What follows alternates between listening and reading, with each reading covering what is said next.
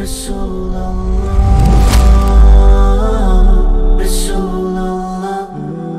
இதுக்கடையில் இன்னொரு சம்பவம் நடக்கு. என்ன நடக்குன்னு சொன்னால் ஒரு மனிதன் வேகமாக வரான். இந்த இந்த நிகழ்வுக்கு அப்புறம் அந்த இடத்துக்கு வந்து அபிசுபியா நம்பினார்னா உங்களுக்காக எதிராக படை தான் போயிருக்கிறார் நிச்சயம் வருவார்.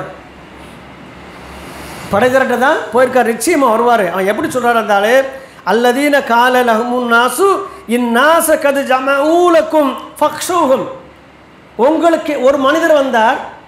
அந்த மனிதர் கூறினார் ஒட்டுமொத்த மனிதர்களும் மக்காவில் உள்ளவர்களில் உங்களுக்கு எதிராக படை கொண்டு வந்திருக்கிறார் அவர்களை நீங்கள் அஞ்சிக் கொள்ளுங்கள். இல்லை இல்லைன்னு என்று சொன்னால் உங்களுக்கு கடுமையான சேதம் ஏற்படும் என்று பயமுறுத்தும் விதையில் சொன்ன உடனே அந்த நேரத்தில் நடந்த சம்பவம் என்னன்னா அல்லாஹ் சொல்கிறான் ஃபசாதஹும் ஈமானோ. அவர்களுக்கு அந்த அச்சுறுத்தல் ஏற்பட்டதோடனே ஈமான் அதிகரித்தது. பயங்காட்டுன்னு என்ன செய்யணும்? பயப்படணும். இங்கே என்ன நடக்கு? அப்படியா? ஆறாங்களா எங்களை கொண்டுருவாங்களா கொல்லட்டும். எங்களுக்கு அல்லாஹ் உதவி சொல் அப்போ தான் சொல்லாவ காலு ஹஸ்புனுல்லாக நியமல் வக்கீல். அந்த மனிதர்கிட்டயே சொல்லப்பட்டது அல்லாஹ் எங்களுக்கு போதுமானவன். அல்லாஹ் எங்களுடைய மகத்தான பாதுகாவலன் எங்களுக்கு பொறுப்பாளனாக இருக்கின்றான் என்று சொன்ன உடனே அந்த மனிதன் விழுந்தோடு விட்டான் அவன் யாருங்கிறதே அல்ல என்ன செய்வான்? வந்தவன் யார் என்பது அல்லாஹ் அடுத்தடுத்த வசனம் சொல்லி காட்டான் அப்போ எந்த மாதிரி ஒரு சூழ்நிலையில் அவங்க எந்த மாதிரி ஒரு மனநிலையில் இருந்தாங்க பாருங்கள் இதில் நடைமுறைக்கு சாத்தியமே கிடையாது. மரணம் கண் முன்னால் தென்முறம் பொழுது எங்கள் எல்லாம் போதுமானவன் என்று முடிவெடுக்கிறாங்க இல்லையா? இவர்கள் தான் மூமிகள் என்று அல்லாஹ் ரபெல்லாம் கூறுகின்றார் எப்பேற்பட்ட ஒரு சூழ்நிலை பாருங்க.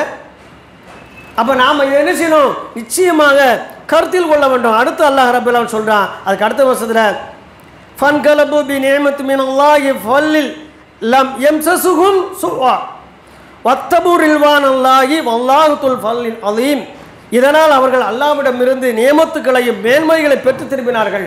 இவங்க போருக்கு பயந்து போகாமல் இல்லை. அல்லாவே போதும் என்று கூறியதினால் அவர்கள் அந்த போருக்கு சென்றார்கள். போரே நடக்கவில்லை. வெறுங்கையாக அல்லாஹ் அவர்கள் திருப்பி விடாமல் அல்லாஹ்வின் அருளை அவர்களுக்கு அள்ளி கொடுத்தான். அல்லாஹ்வுடைய ஃபல் அவர்களுக்கு அவன் கிருபையை மேன்மையை கொடுத்தான். மேலும் அவர்களை எந்த விதமான தீங்கும் அவர்களை தீண்டவில்லை. ஏன் தெரியுமா? அல்லாஹ் சொல்லுதான். அவர்கள் அல்லாஹுடைய விருப்பத்தை பின்பற்றினார்கள். அப்போ அல்லாஹுடைய விருப்பத்தை பின்பற்றும் பொழுது அதற்கு பொறுப்பாளி யார்?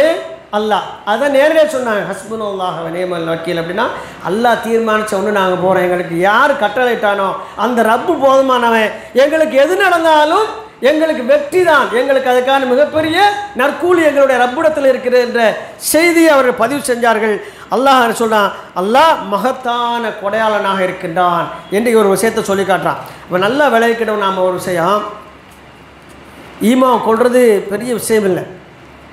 நம்மள்ட்ட உள்ள பலகீனம் என்ன தெரியுமா? நான் அடிக்கடி நினைவுபடுத்தக்கூடிய ஒரு விஷயம்.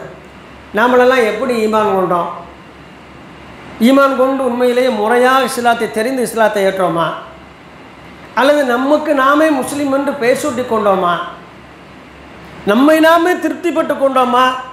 அல்லது அல்லாவை திருப்தி ஏற்படுத்துவதற்காக ஏதேனும் ஒரு காரியங்களில் நாம் முனைப்பாக இறங்கி இருக்கின்றோமா என்றால் எல்லா கேள்விகளுக்கும் நம்மகிட்ட என்ன இல்லை? விடை இல்லை. கொஞ்சம் நம்ம இந்த சபையில் இருக்கிறவங்க நம்ம முறையாக இஸ்லாத்தை வழங்கி கல்மாட்சியில் உள்ள வந்திருக்கோமா?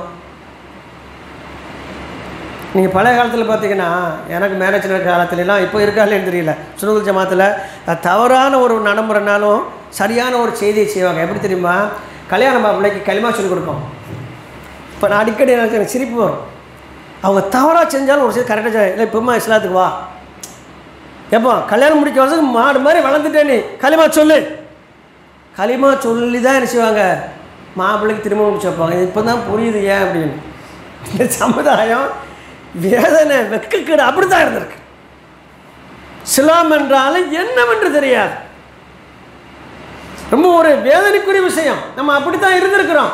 அப்போ அப்பேற்பட்ட சூழ்நிலையில் நம்ம வாழ்க்கையில் எப்போ களிமா சொல்லணும் கேட்டால் என்ன இல்லை? கண்ணு கட்டி தோறு வரைக்கும் விடையே இல்லை. சரி இதை எப்படியே விட்டுடலாமா விட முடியாது. அப்போ நம்ம என்ன செய்யணும்? சிலாத்தை முறையாக படித்தோம் என்று சொன்னாலே அந்த பாடத்துக்குள்ளேயே நம்ம களிமா சொல்லி முடிச்சிடுவோம் இதுதான் அந்த பியூட்டி இதை வந்து வந்து மிராக்கிள் இது. நான் முஸ்லீம் நினச்சிக்கிட்டே இருப்போம். ஆனால் இஸ்லாத்தை படிக்க மாட்டோம். ஆனால் இஸ்லாத்தை எப்பொழுது முறையாக படிக்கக்குள்ளே போகிறோமோ நம்ம எரியாமல் என்ன செஞ்சிருவோம்? பொருளை படிக்கும் பொழுது களிமா சொல்லி அதை உள்வாங்கி விளங்கி ஏற்றுக்கொள்வோம். அப்போ கலிமாவை பற்றி சொல்லும் பொழுது மார்க்கர்கள் அழகாக சொல்கிறாங்க வாயினால் மொழிந்தால் இஸ்லாத்துக்கு வர முடியாது. நீ இதயத்தால் ஏற்று நாவால் மொழிந்து உடலால் அமல் செய்ய வேண்டும். உடலால் நீ யார் என்பதை நிரூபிக்க வேண்டும். அதனால தான் எந்த பக்தில் ஒரு ஆள் களிமா சொல்றாரோ அந்த பக்தி தொழுது அவருக்கு கடமையாகிறது. அவன் உடனே தொழுதா தான் அவர் வந்ததை ப்ரூஃப் பண்ண முடியும். அதான் அவருக்கு வந்து கொடுக்கக்கூடிய ஐடி இந்த சமுதாயம் இன்னைக்கு எப்படி இருக்குது எவ்வளோ மோசமான சூழ்நிலையில் இருக்குது நீ எப்பவும் பாருங்க நம்ம முஸ்லீம்கள் மத்தியில் இன்னும் இஸ்லாத்தை விளைஞ்சு கொள்ளாமல் நினைப்போம். தர்கா வழிபாடுகள்லாம் பார்த்தீங்கன்னா ரொம்ப ஓஹோ நடக்க ஆரம்பிச்சிருச்சு. நீ தர்கா வழிபாடுகள் மீண்டும் தலைதூக்கி கொண்டு இருக்கிறது. அந்த மக்களுக்கு நம்ம சொல்ல வேண்டிய செய்தி என்ன தெரியுமா? தர்கா வழிபாடு கூடாதுன்னு சொன்னாலும் கேட்க மாட்டாங்க. சுருச்சலாசி அனுப்பப்பட்டது எதுக்கு தெரியுமில்ல? காபீர்கிட்ட போய் முதல்ல அல்லாஹ் பற்றி சொல்லலை. இதான் முறையாக படித்தா தான் அது தெரியும். முதல்ல யார்தான் சொன்னாங்க? நாங்கள் அல்லாவை ஏற்றுக்கொண்டிருக்கின்றோம். நாங்கள் இப்ராஹிம் வம்சாவளிகள். இப்ராஹிம் நபி வழியில் நாங்கள் இருக்கின்றோம் என்று யார் சொல்லிக்கொண்டு யார் அல்லாஹை ஏற்றுக்கொண்டார்களோ அல்லாஹை ஏற்றுக்கொண்டு அல்லாவின் அடியார்கள் யார் வணங்கினார்களோ அவர்களிடத்தெல்லாம் அல்லாவுடைய தூதர் சொல்லா இலாஹா இல்லல்லா அல்லாஹை தவிர வேறு எதுவும் வணக்கத்துக்கு இல்லை. இப்போ அல்லாஹ்வை தவிர நீ அவளியா வணங்காத. அல்லாஹ்வை தவிர நீ சைத்தானை வணங்காத. அல்லாஹ்வை தவிர படைப்பினங்களை வணங்காத. அல்லாஹ்வை தவிர இயற்கை வணங்காத. அல்லாஹ்வை தவிர எந்த உயிரினத்தை வணங்காத. அல்லாஹ்வை தவிர சூரியன் சந்திரன் எதையும் வணங்காத. எல்லாவற்றையும் படைத்த எல்லாவற்றிற்கும் மேலான அந்த ரப்பை வணங்க வேண்டும். எனவே அவனை தவிர வேறு இறைவனே இல்லை என்று அந்த மக்களுக்கு சொல்லும்போது தான் கோபம் வந்துச்சு. இப்போ ரசூசலாசன் செய்த வேலை என்ன தெரியுங்களா தர்காவாசிகளை நீங்கள் தர்காவுக்கு போகக்கூடாதுன்னு சொன்னது தான். ஏன் என்று சொன்னால் கௌ க- கரம் சரி முன்னால் இன்றைக்கி வந்து மக்காம இப்ராஹிம் இருக்கு இல்லையா? அந்த இடத்துலலாம் எந்த சிலை இருந்த இடம். அந்த வழித்தடம் இருக்க இப்போ வந்து நம்ம தவாப் ஆரம்பிக்கிறதுக்கு முதல் லைன் வருமே அந்த அஜுல் வாசத்துக்கு மூளை ஃபஸ்ட் கார்னர் அதற்கு நேரம் தான் என்ன இருந்துச்சு? சிலைகள் இருந்துச்சு.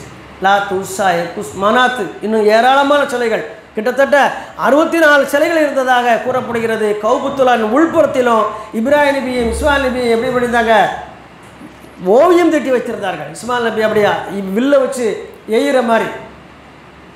உள்ளுக்குள்ள வச்சிருந்தாங்க. அவர்களெல்லாம் என்ன நினச்சிக்கிட்டு இருந்தாங்க? நான் அல்லாஹவை ஏற்றிருக்கின்றேன். அப்போ அபுஜலோட மகன் இருக்கிறார் இக்ரிமான் என்று சொல்லி ஒருவர் இப்போ அல்லாவுடைய தூதர் அழகான ஒரு சம்பவம் நடக்கு. என்ன பண்ணால் ஃபத்தகு மக்காவில் அல்லாவுடைய தூதர் அறிவிப்பு செய்கிறாங்க இன்றைய தினம் உங்களுக்கு இது இஸ்லாத்தை ஏற்காத உங்களுக்கு எதிராக எந்த ஆயுதங்களும் உயர்த்தப்பட போவதில்லை. இன்று இங்கு இன்றிலிருந்து இந்த இடத்துல புனிதமாக்கப்படுகிறது. இங்கு ரத்தம் சிந்து போவதில்லை. எனவே ஒன்று இஸ்லாத்தை ஏற்றுக்கொள்ளுங்கள். இல்லை என்றால் நீங்கள் நல்ல முறையில் நீ இந்த ஊரை விட்டு கண்ணியமான முறையில் வெளியேறிக் கொள்ளலாம் என்று அறிவிப்பு செய்தாங்க. ஃபத்தகு மக்கால் நடந்த சம்பவம். வெளியேற விருப்பம் இல்லாதவங்களாம் நம்ம எல்லாத்தையும் விட்டுட்டு போவோம்? இங்கே இருந்துருவோமா என்று செஞ்சாங்க பொது மன்னிப்பு வாங்கி கொண்டு அல்லாவுடன் ஒரு இடத்துல பையத்து பண்ணி இஸ்லாத்துக்கு இணைஞ்சாங்க நிறைய பேர். ஒரு குறிப்பிட்ட ஒரு கூட்டம் மாத்திரம் இஸ்லாத்தை ஏற்காமல் நாங்கள் என்ன செய்கிறோம் எங்கள் கொள்கையில் நாங்கள் உறுதியாக இருக்கிறோம். நாங்கள் வெளியேறி விடுகிறோம் என்று சொல்லி மக்கானுடைய கிழக்கு துறைமுகத்துக்கு சென்று கப்பலில் ஏறி அவங்க எல்லாரும் ஒரே கப்பலில் பிரயாணிக்கிறாங்க அதில் அபிஜயலோட மகனும் உண்டு அப்போ கப்பல் போய்கிட்டு இருக்கவும் மிகப்பெரிய ஒரு அலை கடுமையான காற்றில் வந்து கப்பலை மேற்கொண்டு பயணம் செய்ய விடாமல் தடுக்கிறது. கடுமையான முறையில். எவ்வளவோ முயற்சி செய்தும் கப்பல் அந்த இடத்த விட்டு போகல. இன்னும் சிறிது நேரம் சென்றால் இதே சூழ்நிலை இருந்தால் கப்பல் அப்படியே செய்கிறோம் கவிழ்ந்து விடும் என்ற சூழ்நிலை வரும்பொழுது அதிலிருந்து காவிரிகளை என்ன செஞ்சாங்க தெரியுமா? துவா செஞ்சாங்க. யார்கிட்ட? அல்லாஹ்கிட்ட. ஏன்னா அவங்க அல்லாவை ஏற்றுக்கிட்டு தான் இருக்கிறாங்க. இதுக்கு தான் அந்த சான்றது. இப்போ நம்ம பார்க்குற காவிர்கள் அவங்களுக்கு அல்லாஹ்வை தெரியாது. இவர் அல்லாவை ஏற்றுக்கொண்டவர்கள். அதனால தான் இவங்களுக்கு இன்னொரு பேர் அடைமொழி முஸ்ரிக்குன்னு பேர். அப்போ அல்லாவிடத்தில் பிரார்த்திக்கிறாங்க. இக்ரீமா பிரார்த்திக்கலை. அவர் அமர்ந்து கொண்டு அவங்களாம் கூப்பிட்டு கேட்காரு. ஏப்பா அல்லாஹ் அல்லாஹ் தான் அவங்க முகமது சொல்லிகிட்டு இருக்காரு. நீங்கள் கப்பலுக்கு வந்து அல்லாஹ் கூப்பிடுதே இல்லை? ஏன் லாத்துசா எக்குசெல்லாம் நம்ம வணங்கினவன அவங்களோட ஆளுங்க. அவங்க தான் காப்பாற்றவங்க அப்போ எல்லா காப்பிகள் சொன்னாங்க அவர்களெல்லாம் சிறு சிறு உதவிகள் செய்வாங்க. இது போல் பெரிய இடத்துல எல்லாம் அல்லாஹ் தான் காப்பாற்றுவான். இது போல் பெரிய ஆபத்துக்கள்லாம் யாரால தான் காப்பாற்ற முடியும்? அல்லாஹ்னால தான் காப்பாற்ற முடியும் சொன்ன எக்ரிமா சொன்னார் எத்தனைப்பா படித்து படித்து சொன்னார் நம்ம மண்டல ஏற மாட்டேன்னு என்ன நீங்கள் விட்டுருங்க நான் திரும்பி போகிறேன் நான் போய் என்ன செய்ய போகிறேன் சில அத்தை ஏற்றுக்கொள்ள போகின்றேன். நீங்கள் இருக்கிற அதே குலத்தை அவர் சுத்தப்படுத்தி தந்தார். நீங்கள் சுத்தமில்லாமல் வைத்திருக்கிறீர்கள். சிலாம் என்பது அல்லாவுக்கு மாத்திரம். எந்தவித கலப்பும் இல்லாமல் வணக்கத்தை தூய்மையாக்குவதான் என்று கூறினார். நம்ம கோவப்பட்டோம். அவரையே நம்ம நம்ம ஊரை விட்டு விரட்டணும் திரும்ப அவர் அல்லாவோட உதவியால் ஊருக்குள்ளே வந்தார். நம்ம கண்ணியமாக அனுப்பினார். இதை செய்து அவர் நிச்சயமாக கொண்டு வந்த மார்க்கம்தான் சத்திய மார்க்கம் என்பதற்கு நான் சாட்சி கூறினேன் என்று கப்பலில் ஏன் செய்கிறார் அவர் சொல்கிறார் இப்போ நல்ல விளைகிடுங்க சம்பவங்கள் எல்லாம் எப்படின்னா விளங்கும் பொழுதுதான். ஈமானை பிறக்கும். மேலும் படிக்கும் பொழுது தான் ஈமான் உருப்பெறும். அந்த உருவம் அடைந்து அந்த ஈமான் வளர்ச்சி அடைய ஆரம்பிக்கும். எப்போ ஈமானுடைய வளர்ச்சி அதிகரித்து கொண்டே போகிறதோ அப்பொழுது இந்த உலகம் நமக்கு துச்சமாக தெரியும். அல்லாஹ்வினுடைய அருளை மாத்திரம்தான் நாம் குறிக்கோளாக கொண்டு இந்த உலகத்தில் வாழுவோம் அன்புக்குரியவர்களை. இப்போ அந்த மாதிரி பயிற்சி நம்மளுக்கு இல்லை. அதான் ரொம்ப வேதனையாக இருக்குது இன்றைக்கி நம்ம மக்கள் மத்தியில். நம்ம மக்கள் மத்தியில் வேற ஒன்றும் இல்லை. ஈமானுடைய அம்சம் ஒரு ஆறு அம்சம் இருக்குது என்னென்னு சொல்லட்டும் பார்ப்போம். வேகமாக சொல்ல சொல்லுங்கள் ஈமானோட அம்சம் என்னென்ன ஆறு அம்சம் சொல்ல சொல்லுங்கள் இந்த ஆறு அம்சமும் பூர்த்தி அடைஞ்சிருது ஆமந்து பில்லாய் மலாய்க்கத்து குத்துபி ருசூலிகி யவுமல் ஆஹர் அதிலெல்லாம் நம்ம வந்து டோட்டல் ஃபைலு கதிரிகி ஹைரிகி சருகி மின் அல்லாஹ் தாலா ஆறு அம்சம் நம்புவது வேதத்தை நம்புவது வானவர்களை நம்புவது ரசூல்மார்களை நம்புவது மர்மை நாளை நம்புவது நன்மையோ தீமையோ எது நடந்தாலும் என் ரப்பினுடைய கட்டளைப்படிய விதித்ததன் அடிப்படையிலேயே என்னை நடந்து நடந்தேறியது என்று உறுதியாக இருப்பது. இந்த ஆறு அம்சத்தில் யார் உறுதியாக இருக்கார்களோ இந்த ஆறு அம்சமும் நிறைந்தால்தான் ஈமான். ஈமான் இருந்தால்தான் முஸ்லீம். நம்ம கொஞ்சம் இந்த ஆறு அம்சமே நமக்கு தெரியலை. இந்த ஆறு அம்சம் நமக்கு பாடம் படிக்கலை. இந்த ஆறு அம்சம் நமக்கு என்று சொன்னால் நம்ம எப்பொழுது சிலாத்துக்குள் எந்த வழியாக வந்தோம் என்பதுதான் கேள்வி. ஒரே வழி தான் இருக்குது சிராத்தல் முஸ்தகிம் தான். நேரடி பாதை தான் இஸ்லாத்துக்குள்ள வருது குறுக்குவழிகளே கிடையாது. அப்போ நாம் எப்படி இஸ்லாத்துக்குள்ளே வந்தோம்? எப்போ வந்தோம்? எதன் அடிப்படையில் மர்மையை எதிர்கொள்ள இருக்கின்றோம்? எதை பெறுவதற்காக நாம் காத்து கொண்டிருக்கின்றோம்? வாழுகின்ற காலத்தில் அல்லாம் திருப்திக்காக எதை எதை செய்து கொண்டிருக்கின்றோம் என்று ஏராளமான கேள்விகளை அடித்து கொண்டே போகலாம். எல்லா கேள்விகளுக்கும் பதிலாக மௌனம்தான் நம்மிடத்தில் மிஞ்சுகிறது அன்புக்குரியவர்களே. ரொம்ப ஆபத்தான சூழலை. அதன் காரணமாகத்தான் நம் மீது சைத்தானிய படைகள் போர் தொடுக்கிறது. நல்லா விலகி கிடைக்க சும்மாலாம் வந்து சம்பவம் நடக்கலை.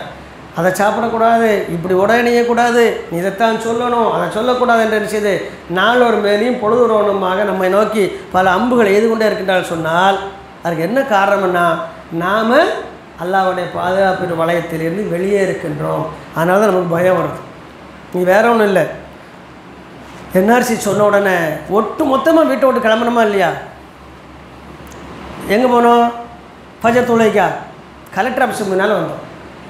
அப்போவே நம்ம எவ்வளோ இழிவான பிறவிகள் என்பதை நிரூபிச்சோமா இல்லையா? எவ்வளோ கேவலமான கலெக்டர் ஆஃபீஸ் முன்னாலும் தப்பு இல்லை.